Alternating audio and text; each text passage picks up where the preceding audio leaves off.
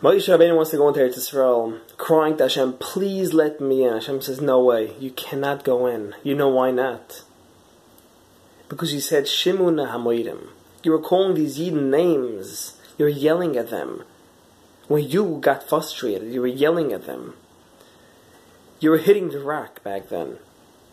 Nothing was working. The wood wasn't coming out. You were just yelling at the people. You hit the rock. When we say hit the rock, does not necessarily mean physically hit the rock. It means emotionally hit the Yidden, which in his mind at that point, they were a piece of rock, a piece of nothing. And that's why Hashem said to Moshe Rabbeinu, you cannot go into Eretz Yisrael. We can't understand exactly what was going on back then. Moshe Rabbeinu was in a much higher level that we could even imagine. But what we could take out of this is that we have to be very careful how we deal with other people. Not judging other people.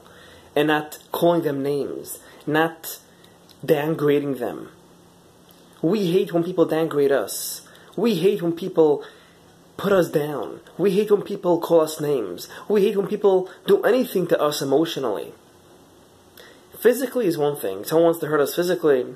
Okay, it could pass. Even if I, if I broke a bone in my body, it will pass. But when someone hurts me emotionally, it will never pass. It's something which always stays within us. It kills us. Be careful. We cannot hurt people emotionally it's the worst thing ever. Just like we don't want to get hurt emotionally. We should never hurt another human being emotionally, regardless how they are and who they are. If they're rich or poor. Never ever do such a thing. Have a great day with a smile.